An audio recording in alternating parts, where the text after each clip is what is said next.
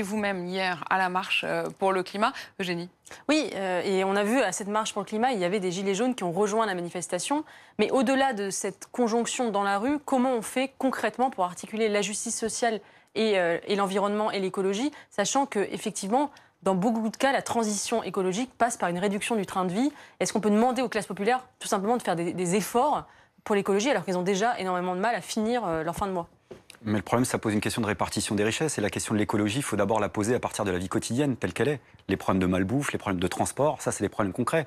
Il y a 80%, je crois, des gens qui sont obligés de prendre leur bagnole pour aller bosser. Simplement parce que voilà, euh, il n'y a plus de transport, euh, il a plus de transport ferroviaire. Je rappelle de mémoire que M. Macron a quand même, avec sa réforme de l'année dernière sur la question du service public ferroviaire, dans le collimateur la suppression d'un tiers du réseau ferroviaire, c'est-à-dire 9000 km de lignes. Je rappelle qu'au moment même où on parle, euh, il y a des, par exemple, vous savez, des lignes de fret euh, symbolique, celle qui relie Perpignan à Ringis, par exemple, qui amène les denrées alimentaires, puisqu'on parlait de malbouffe, au marché de Ringis, bah, qui va être supprimée. Ça va rajouter 25 000 camions supplémentaires qui vont saturer euh, comment euh, l'autoroute du Soleil. Donc là, par exemple, le lien, c'est du service public. Hmm. Si on veut permettre aux personnes de se déplacer différemment, c'est du service public. Maintenant, il faut permettre aussi aux personnes de pouvoir se rapprocher du lieu où elles travaillent. Ça pose les problèmes de logement. Là aussi, c'est la question sociale. Est-ce qu'on bloque le prix de la pierre? Est-ce qu'on bloque les loyers? Est-ce qu'on en finit avec la spéculation immobilière?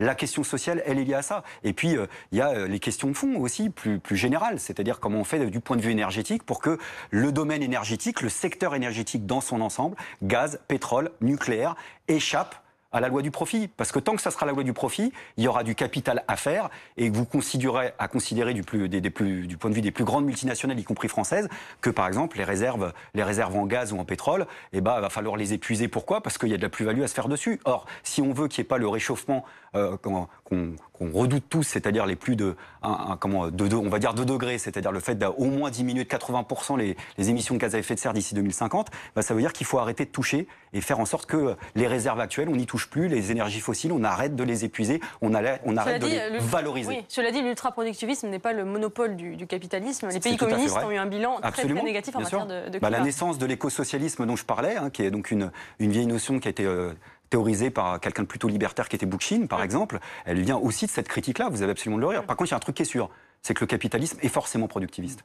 Et vous ne pouvez pas, imaginer un modèle capitaliste qui ne soit pas productiviste. Et tant qu'il y aura du productivisme, il n'y aura pas de transition énergétique et vous allez raconter des histoires aux enfants. Donc il faut réquisitionner tous les opérateurs énergétiques dans un seul et même service public énergétique pour assurer la transition énergétique dont tout le monde se revendique. Là, il y a pour moi des pistes, je ne dis pas que c'est les seules, il peut y en avoir plein d'autres, mais de, convergence concrète entre les questions sociales et les questions écologiques. votre écologie, elle n'est pas nouvelle, elle est, elle est politique, elle est anticapitaliste. Vous avez toujours dit l'écologie et l'anticapitalisme, ça va ensemble.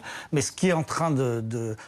se manifester dans le monde entier. Ce qu'on a vu vendredi, c'est un, un, écologisme très, très apolitique. L'écologisme de, de, Greta Thunberg, elle est très scientifique. Elle dit écoutez les scientifiques, le réchauffement, X degrés, X kilos de, de, CO2 dans le monde. Enfin, mmh. on est, les, jeunes qui, qui, se mobilisent euh, ces jours-ci et qui vont sûrement continuer euh, euh, dans, les, dans les semaines qui viennent, ils ne sont pas très politiques, je trouve. Ouais, bah, bon, vous, vous êtes observateur. Moi, je n'observe pas de la même manière pour le coup, parce que je trouve qu'au contraire, c'est une génération extrêmement radicale et qui pose des problèmes de fond. Parce qu'ils nous disent quoi? Ils nous disent ça sert à quoi de continuer à l'école puisque vous êtes en train de nous dire que le monde peut disparaître? Et sur le fond, ça rejoint un discours qui a été là, pour le coup, euh, amené déjà par des figures du mouvement altermondialiste. Hein, je me souviens à l'époque en disant, euh, voilà, moi je ne, je ne, veux pas continuer à discuter plus longtemps de la fin du monde, je préfère essayer de le changer. C'est les héritiers de, c'est les héritiers d'attaque, c'est les héritiers de ces altermondialistes. Oui, mais, d'une mais vous savez, même de filiation plus profonde encore. Il y, a des, il y a des tas de mobilisations sur les questions de l'écologie, y compris en France, hein, euh, qui datent depuis le, voilà, depuis le Larzac, les mobilisations contre les OGM, la question de la sortie du nucléaire, voilà, avec y compris des mobilisations, des coalitions climat qui se sont constituées, avec le réseau Sortir du nucléaire qui a apporté des réponses très concrète sur la possibilité de sortir du nucléaire en plusieurs années et de créer de l'emploi contrairement à ce qu'on pense. C'est-à-dire que, euh, voilà, avec des chiffres à l'appui. Mais, vous, mettez tous, vous mettez tous un peu l'écologie à votre sauce. C'est-à-dire que quand je vous entends euh, parler avec Eugénie, et puis finalement, au fond, euh, c'est grâce à l'écologie, on va lutter contre le capitalisme, en gros. Euh, si on écoute le Rassemblement national aujourd'hui, ils disent grâce à l'écologie, on va euh, lutter contre euh, l'Union européenne, contre les échanges libéraux et on va revenir au localisme. Chacun, finalement, verdit son discours comme si c'était une évidence absolue. Mais quand on vous écoute, vous êtes tous écolos, quoi.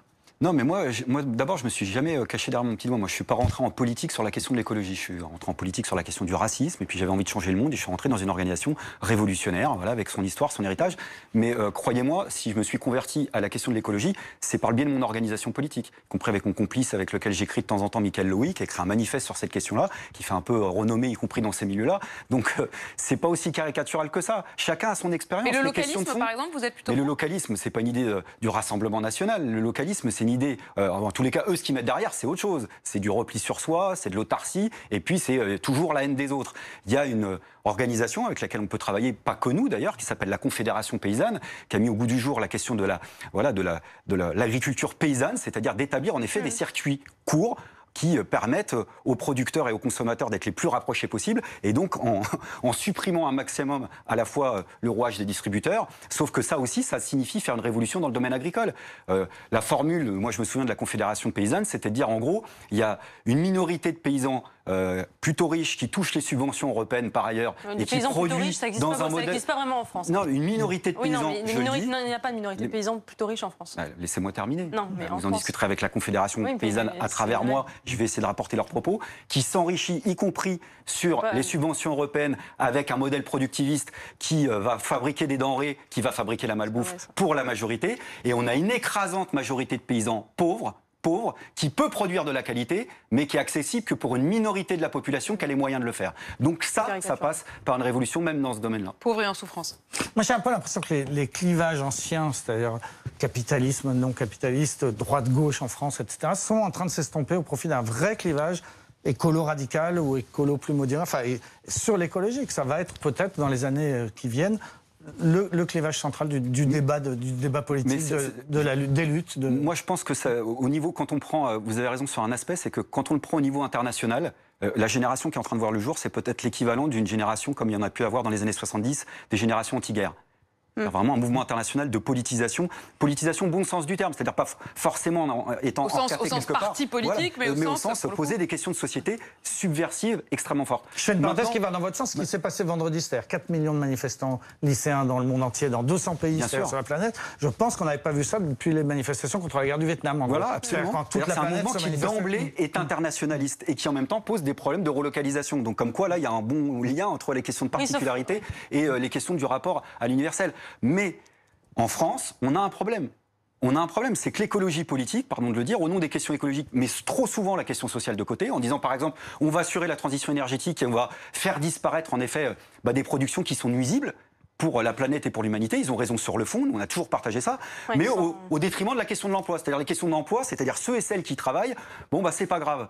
Et à l'inverse, on a une partie du mouvement ouvrier, notamment syndical, qui disait, au nom de la question de l'emploi, on se désintéresse des questions écologiques. Et on est pro-nucléaire, par voilà, exemple. Et donc les questions, euh, mais même d'autres industries euh, chimiques qui peuvent être extrêmement dangereuses. Mm. Donc les questions, c'est pour ça qu'elles sont éminemment liées. Si on fait la transition énergétique dans un certain nombre de ces secteurs industriels, il faut comme garantie absolue affirmer d'emblée que c'est pas aux salariés de ces secteurs-là de payer la facture, c'est-à-dire leur permettre d'avoir le maintien de l'emploi, de la qualification, du salaire, dans la mise en place de nouveaux, de nouvelles activités publiques dont on a besoin. Je rappelais par exemple que la sortie d'un certain nombre d'activités polluantes, elle permettrait non pas de détruire de l'emploi, mais d'en créer d'autres. Or, en France, par exemple, sur la question du nucléaire, là, on parle de tabou. Alors là, on est en plein dedans en plein dedans. Vous prenez la recherche aujourd'hui, dans le domaine de la recherche, on consacre 80% au nucléaire et 20% aux, énergies renouvelables. Alors qu'on soit d'accord ou pas avec tout ce qu'on raconte, on pourrait quand même peut-être se dire que du point de vue des énergies renouvelables, que ce soit sur le solaire, les éoliennes, il y a probablement quelque chose à faire. Besancenot, sur, sur euh, les questions d'ailleurs de mobilité, euh, on le voit bien, il y a eu euh, un certain nombre d'événements géopolitiques qui peuvent avoir un impact sur le prix du carburant en France. Est-ce que, comme Marine Le Pen ou d'autres, vous vous dites, bah, il faudrait peut-être qu'on qu'on lève un peu plus les taxes, qu'on les allège euh, pour amortir cette hausse à venir du carburant? Alors, moi, je réaffirme que ce n'est pas la population de payer cette facture-là, comme on l'avait expliqué dès le moment des. Mais il faudrait que Marine Le Pen elle nous explique comment elle va faire à un moment donné. C'est elle qui, pour mettre des taxes à chaque frontière, va faire comment? Parce que le carburant, euh, à ma connaissance, on l'importe, non? Elle, parle simplement de la taxe, au fond, qui est ce qu'on appelait à une époque la TIPP. Mais il va falloir quand même qu'il nous explique.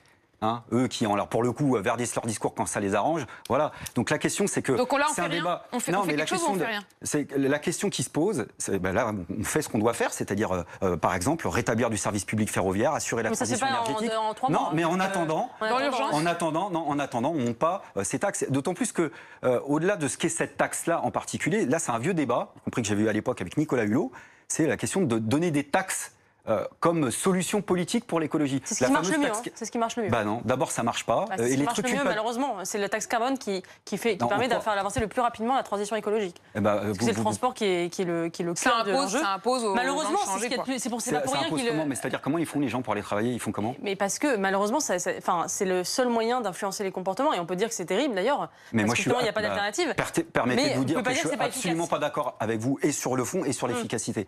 Parce que la réalité, c'est que les gens, ils continuent à prendre leur voiture pour le faire. Simplement, bah, en effet, les fins de mois commencent de plus en plus tôt, et puis ça s'endette et ça s'endette de plus en plus. Je ne crois pas, et même, même sur quelque chose de plus substantiel, c'est qu'à partir du moment où vous donnez une taxe comme la taxe carbone, vous donnez un prix aux choses, vous redéveloppez la logique selon laquelle il y aura ceux qui auront les moyens d'acheter et ceux qui n'auront pas les moyens d'acheter.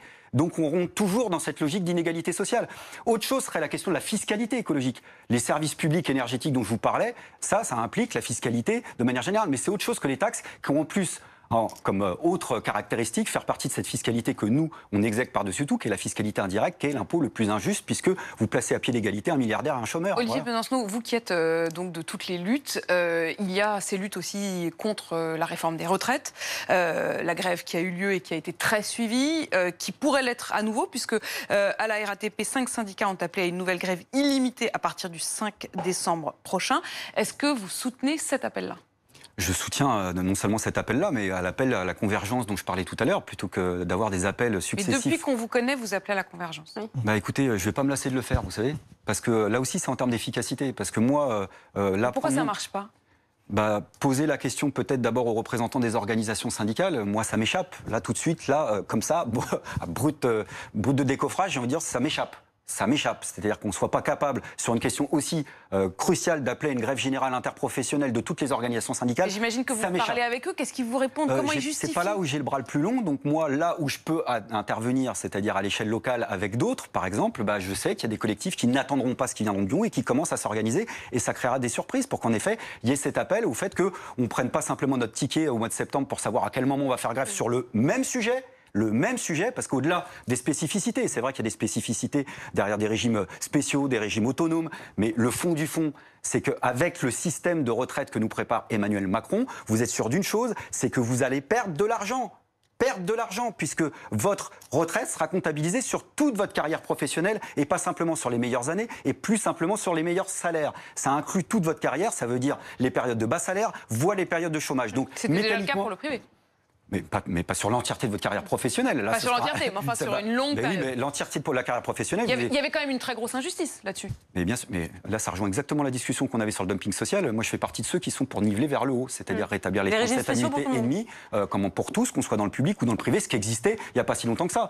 Euh, cette inégalité, elle a été, euh, elle a été mise en place pourquoi? C'est qu'on a d'abord attaqué le, le privé, puis ensuite on s'attaque à la fonction publique, et puis on joue sur les divisions. Moi, ces divisions, j'en veux pas. Ça représente 1% du PIB, c'est une question mais vous pouvez essentielle. dire je veux qu'on soit tous ensemble, mais enfin si vous êtes tout seul, bah, je veux qu'on soit tous ensemble. D'abord, euh, pardon de le dire, vous pouvez peut-être essayer de me casser le moral, mais en tous les cas, C'est pas difficile, seul. hein. Honnêtement, vous êtes, euh, Voilà, vous on n'est êtes, pas euh, seul puisque vous soulignez euh, déjà que Vous êtes d'un toujours- optimisme ou en tout cas d'une énergie et d'un espoir que- à Non, mais vous savez, parce qu'il y a quelque chose de profond dans la séquence sociale, parce que là, on, on parle de ça, mais le climat un peu explosif qu'on est en train de connaître, euh, il a une origine.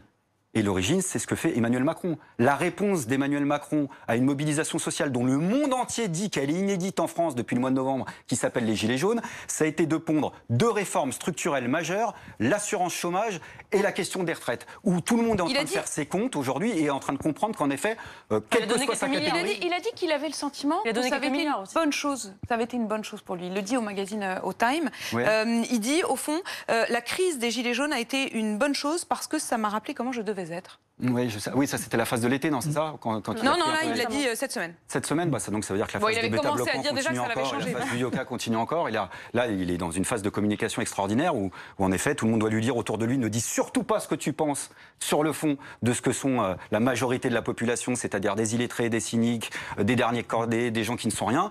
Il prend, va prendre le temps de la concertation parce que maintenant il a tout compris et il prend tellement de temps de la concertation sans nous prendre ouvertement pour des cons que du coup la question de la réforme des retraites, elle va tomber quand En plein cœur de l'été prochain.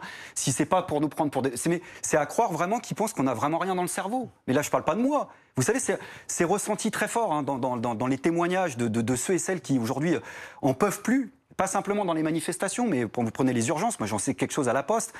Cet aspect qui, consiste à- à imaginer qu'on n'a pas compris ce qui est en train de se passer. Donc ce sera un problème de pédagogie. On va vous. Mais on sait, on sait, et c'est pour Vous ça qu'on n'en peut pas plus. du tout l'idée de l'acte 2. hein. L'acte 2 qui serait Ah, l'acte- davantage. euh. Bah, L'acte 2, on a compris euh, quelle était sa volonté, mais euh, pour lui, c'est un pari risqué, hein, je vais vous dire.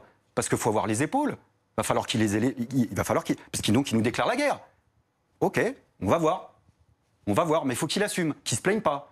Moi, je veux pas qu'on vienne nous dire. Il avait déjà euh, dit, il, il avait déjà dit qu'il vienne. Ouais, mais, mais c'était l'origine du slogan dans les manifestations. Pourquoi on disait Emmanuel Macron va venir te chercher chez toi Ça, je, je sais qu'il y a plein de belles âmes qui étaient vachement émues de ce discours-là, mais c'était lui qui l'avait suscité.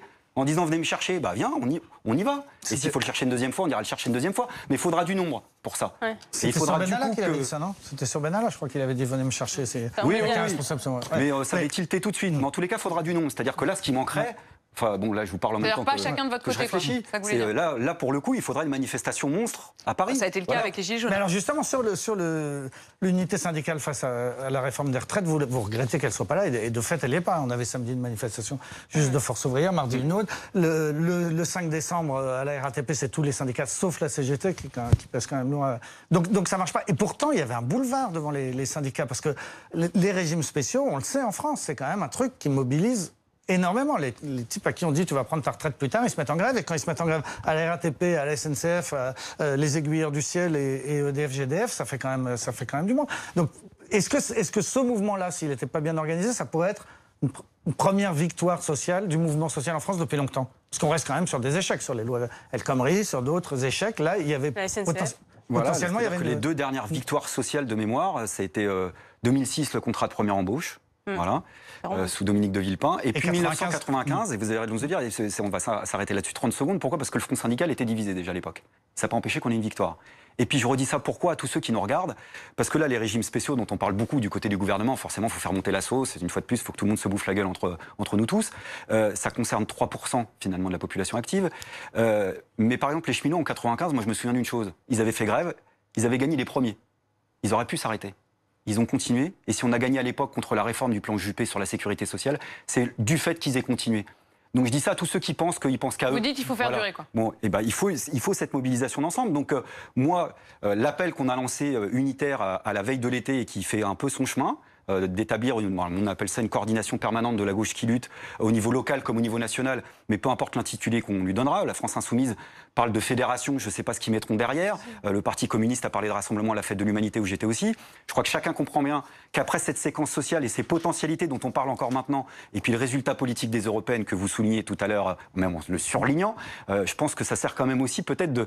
Il faut, faut que ça soit un mal pour un bien et qu'on soit capable de se dire qu'on a besoin de se retrouver de façon constante et permanente. Olivier Mais à travers une grève générale, par exemple Non, là on parle d'un espace démocratique qui ne se. Oui, mais sur les réformes des retraites. Oui, par exemple, on pourrait commencer sur la question des retraites. Moi, c'est la proposition que je lance à Jean-Luc Mélenchon, aux responsables du Parti communiste, de lutte ouvrière, de Génération, tous ceux qui sont exprimés, puis dans les collectifs, les syndicats, tous ceux qui sont exprimés sur la question de la réforme des retraites. Pourquoi on ne ferait pas ce qu'on a déjà fait d'ailleurs dans le passé, c'est-à-dire euh, estrade commune, des meetings communs, pour Et vous avez- apporter nos, pas simplement notre critique de la réforme actuelle des retraites, mais aussi ce qu'on a en commun à affirmer comme solution Mmh. Vous alternative. avez, parce qu'il y a aussi cité, ces euh, vous avez cité à l'instant euh, Jean-Luc Mélenchon. Ça fait peut-être partie d'ailleurs euh, des déceptions sur ces euh, convergences de lutte. C'est-à-dire que le fait qu'à un moment, il y ait cet homme qui avait porté le, vraiment le, la France insoumise, le front de gauche, l'idée qu'il puisse y avoir une convergence tous ensemble. y compris derrière, derrière lui. Euh, D'abord, une question sur ce qui s'est passé euh, cette semaine. Euh, Jean-Luc Mélenchon qui comparaissait pour dé- voilà, insulte, intimidation à l'autorité publique, rébellion, provocation. le réquisitoire du parquet, c'est trois mois de prison avec sursis. Le jugement sera le 9 décembre. Est-ce que vous estimez que c'est un procès politique? Moi, j'ai affirmé toute ma solidarité à Jean-Luc Mélenchon et aux Insoumis. Je le fais encore ce soir. Voilà, j'ai dit qu'il y avait beaucoup de politique dans ce procès et je continue à l'affirmer. Voilà, on sait que le parquet n'est pas indépendant dans ce pays. Ça fait partie des sujets politiques qui sont placés sur la table. Qu'après, euh, même dans cette situation-là, il y a des situations contradictoires dans la justice. Il y a aussi des juges qui font leur travail et qui font euh, sortir quelques affaires de temps en temps. Mais là, écoutez, euh, dans tout ce qu'on a vu, la rébellion, l'intimidation, enfin, il faut quand même, faut quand même redescendre 30 secondes, et puis c'est des camarades de combat avec lesquels on va continuer à combattre, avec lesquels on tend cette main unitaire à eux et à, et Ça lui a coûté cher, y compris euh, dans, dans, dans l'opinion publique, euh, ce moment euh, où il s'en était effectivement pris aux forces de l'ordre qui étaient venues au siège de la France Insoumise. Les sondages sont très mauvais, en perte de vitesse pour Jean-Luc Mélenchon. Est-ce que, c'est-à-dire que le personnage en a trop fait? Est-ce que du coup, il n'a pas finalement desservi même votre lutte? Bah, écoutez, euh, je crois que Jean-Luc Mélenchon, il n'est pas réputé pour faire les choses à moitié.